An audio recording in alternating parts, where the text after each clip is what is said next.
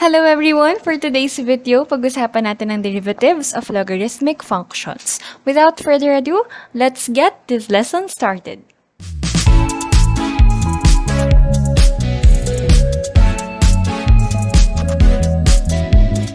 I-review muna natin or i-recall natin yung iba't ibang properties ng logarithms. So, logarithms, ito yung may mga ln or may log.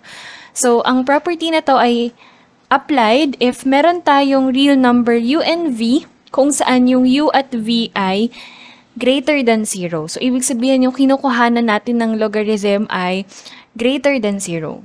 So, kung meron tayong ln of u times v, that is just equal to ln u plus ln v. Same goes kung logarithm yung involved. Again, kung nakamultiply yung dalawang terms sa loob ng parenthesis at yun yung kinukuhanan natin ng logarithm, equal lang yon sa addition ng logarithm ng bawat isa. For example, meron tayo ditong ln of 8x. Equal lang ito sa ln of 8 plus ln of x. Kung nakadivide naman, yung numerator, yung logarithm niya, minus the logarithm of the denominator. Again, this applies both for ln and logarithm. So for example, meron tayong log of 2x all over 3. So we can say that this is log ng 2x minus log ng 3. You can still use uh, the first property, itong multiplication na ito, para i-simplify itong first na logarithm expression. Pero kahit ganyan, uh, okay lang din yan kasi gusto ko lang naman ipakita yung second property natin. And kung meron tayong ln of u raised to a, kung, kung saan yung a ay exponent ng u, ang gagawin natin, pwede nating ibaba yung a na yon para maging coefficient ng LNU. This also applies for logarithm. This is vice versa ha. So, ibig sabihin kung makakakita ka ng a, LNU, pwede mo siyang i-rewrite pabalik dito. For example, meron tayong 4 ln x. This is equal to ln of x to the fourth. Again, gagamitin natin ang mga properties na ito para ma-simplify yung mga answer natin after nating ma-apply yung mga theorems on derivative ng logarithmic functions. So, ano-ano nga ba yung theorems na yon? So, let's have the derivative of logarithmic functions. Divided ulit siya into two parts tulad ng exponential function. Yung part 1, involve tayo ng ln or ng ating natural logarithm. So, ang derivative daw ng ln of x is 1 over x dx. So, kukuhanin natin yung nilolog natin or yung kinukuhanan natin ng logarithm kukunin natin yung kanyang reciprocal times the derivative of itself. Kung yung x natin dito ay another function, so same lang din, kukuhanin natin yung 1 over u times du. Or pwedeng du over u na lang. For example, ito yung uh, f of x equals to ln x to the fourth. So what we can do here ay we have 1 over, yung x natin dito or yung u natin dito ay yung kinukuhanan ng logarithm, which is x to the fourth, times the derivative ng x to the fourth. So this is 1 over x to the fourth times derivative nito ay 4x cubed. So simplifying, we have uh, 4x cubed minus x to the fourth. And recall na kapag meron tayong same base, pwede nating magamitan ito ng quotient rule ng loss of exponent kung saan ima-minus natin yung maliit na exponent dun sa mas malaki. So this will be 4 over, ibaba na lang natin to kasi mas malaki yung x to the fourth.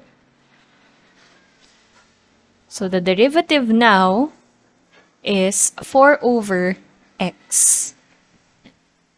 Pwede mong gamitan din ito ng property kung saan yung uh, ln x to the fourth, i-rewrite mo muna siya as 4 ln x. Regardless, kapag kinuhanan mo rin naman to ng derivative, of course, yung 4 lalabas. And then yung ln x, ang derivative nito ay 1 over x times 1. Or still, it's 4 over x. Pareho lang. So, kaya natin ni-recall yung mga properties kasi baka nga mapasimple niya yung ating answer. or yung ating solution. Let's move to the second example. For example number 2, meron tayong ln ng isang rational function and pwede nating i-apply dito yung property. So, kapag ginamit natin yung property, obviously, y pa rin yun, hindi pa siya start ng pagde-derivative. Nire-rewrite pa natin yung given. So, ln ng numerator minus the ln of the denominator. In that way, maa-avoid natin yung quotient rule dahil magkakaroon na lang tayo dito ng sum and difference. So for this first a term, again, ang ating derivative is 1 over yung kinukuhanan ng ln times the derivative of that function din. d over dx ng x squared plus 7. And then minus Okay, ito yung first natin na term. Minus yung second term natin, yung 1 over x minus 1 times yung derivative ng x minus 1.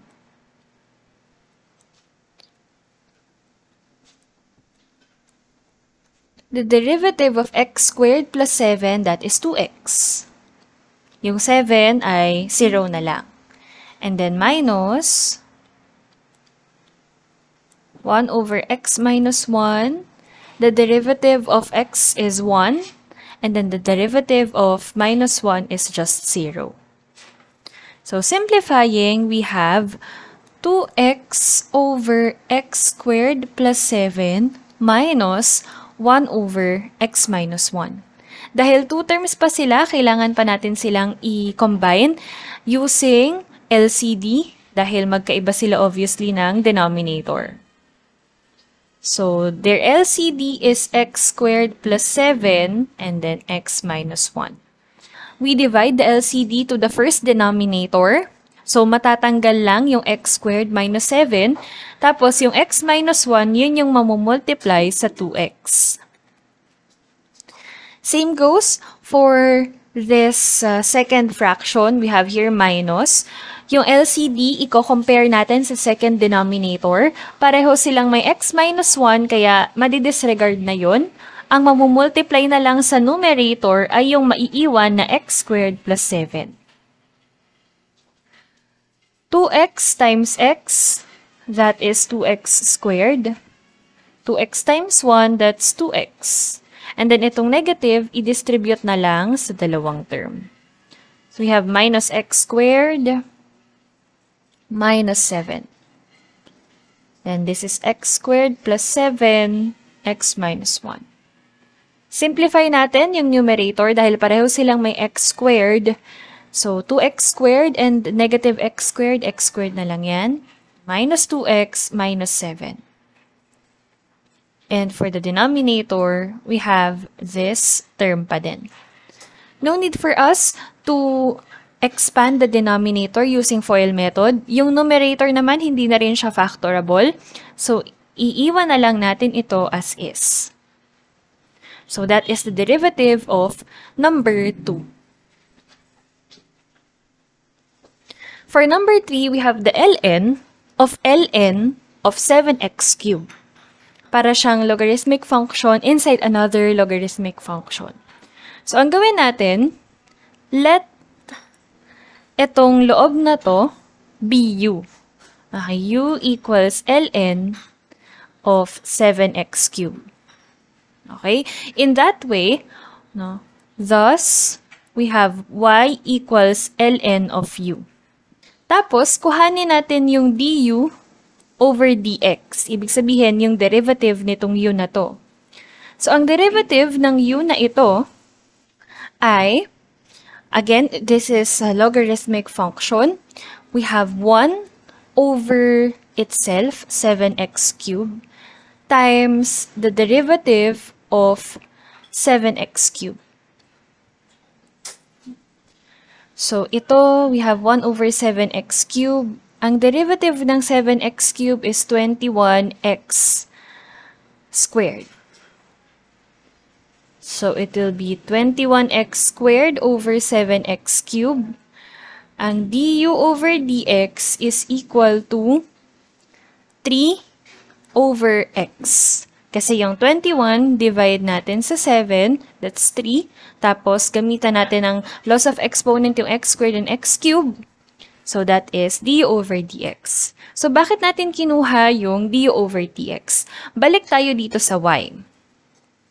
Nilet natin as u yung nasa loob, no? Itong uh, nasa loob ng uh, ln, which is ln of 7x cubed.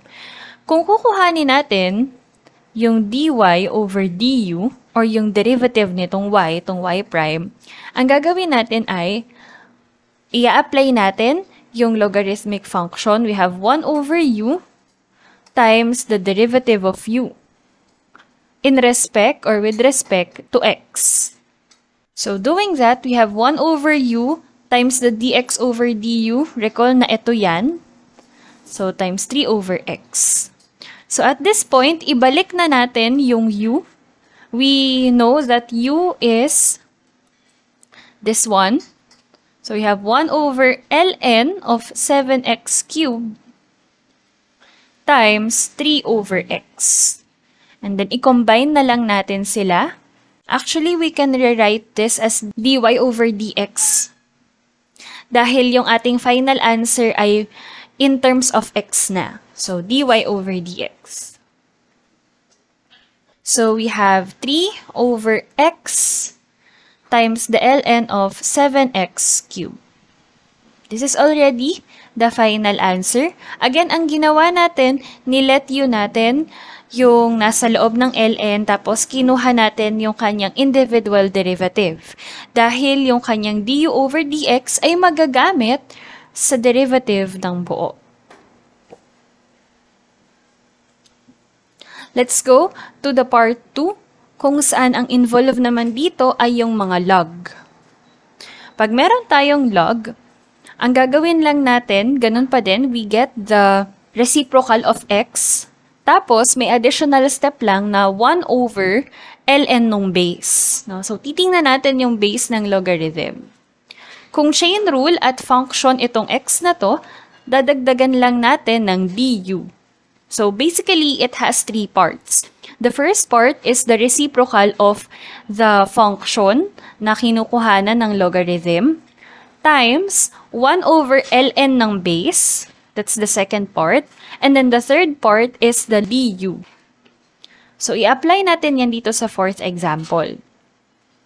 We have log of x squared to the base 5. And to get its derivative, again, the first step is we take the reciprocal of the function na kinukuhanan ng logarithm. So, itong x squared. So, that is 1 over x squared. I-multiply daw natin sa 1 over ln a, 1 over ln of the base. Ang base natin ay 5. So, this is 5. Times the derivative of this x squared. So here we have 1 over x squared times ln of 5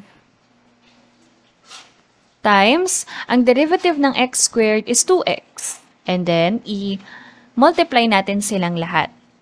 We have 2x over x squared times ln 5. x and x squared ay pwede pang magamitan ng quotient rule ng loss of exponents. So, i-minus natin yung kanilang exponents. So, bababa ito. Mama-minus 1 lang. So, we have 2 over x ln of 5. At ito na yung ating derivative for example number 4. And finally, for example number 5, meron tayong x to the fourth, logarithm of quantity 12x squared minus 8x to the base 2. Dahil meron na tayong dalawang term, ito yung first term natin at ito yung second term na nakamultiply sa isa't isa, well, gagamitan natin ito ng quotient rule. So for y prime, we apply quotient rule. We have first derivative of the second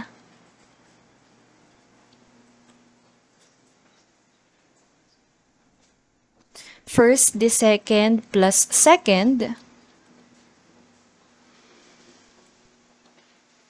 times the derivative of the first.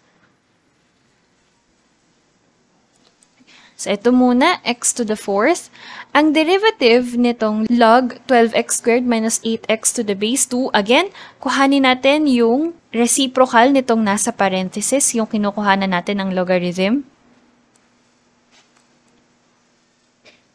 Times 1 over ln nung base times derivative nung nasa parenthesis na yon.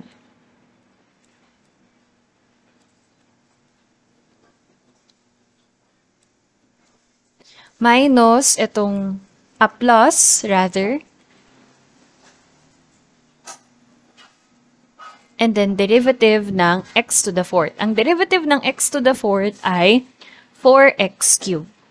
So it is important to note that this 4x cubed is multiplied to the logarithm. Hindi siya nakamultiply dito sa uh, quantity na to. Oh, by the way, may base nga pala ito na 2.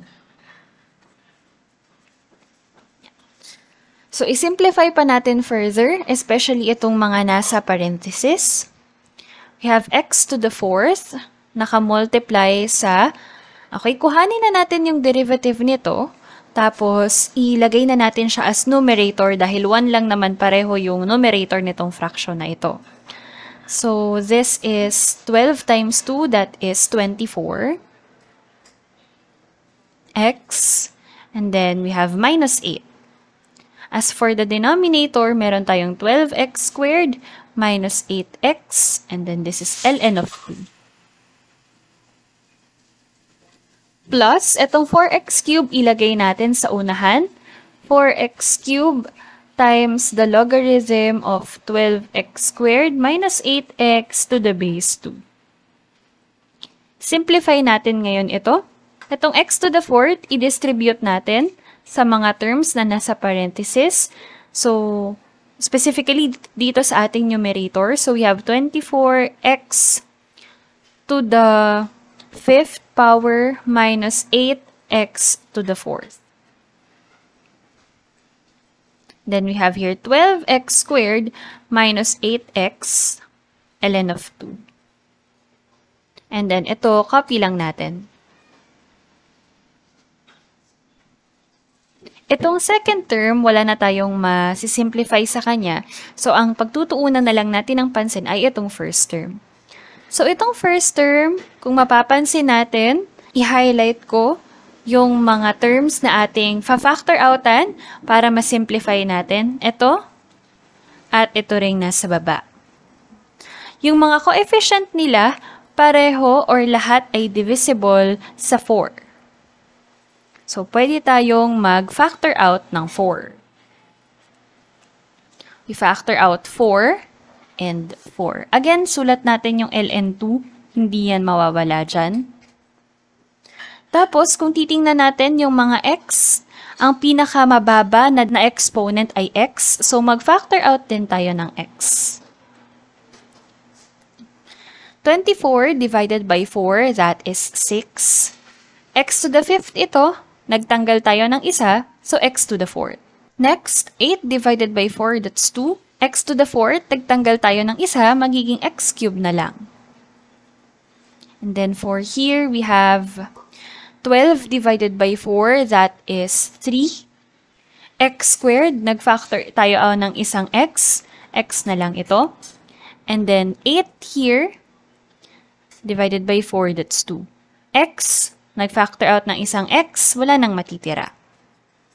And then, 4x cubed log of x squared minus 8x to the base 2. Afterwards, we can simply divide the 4x. So, dahil dinivide nga natin yung 4x, ang maiiwan na lang sa atin as the final answer is this one we have 6x to the fourth minus 2x cubed all over the quantity of 3x minus 2 times ln of 2 plus 4x cubed logarithm of 12x squared minus 8x to the base 2. Kahit hindi na natin sila i-add dahil wala na naman tayong makocombine dahil lahat sila ay hindi na pwedeng masimplify further. So, ito na lang yung ating final answer for example number 5. So, tatandaan natin kapag gumagamit ng theorems ng derivative ng logarithmic function, involved pa rin dito yung mga chain rule, yung product rule, at iba pang basic rules na, na na-discuss natin before. And most importantly, kailangan alam natin yung mga properties dahil baka makatulong sila para mas maging maikli or mas simple yung ating solution. And of course, the final answer na din.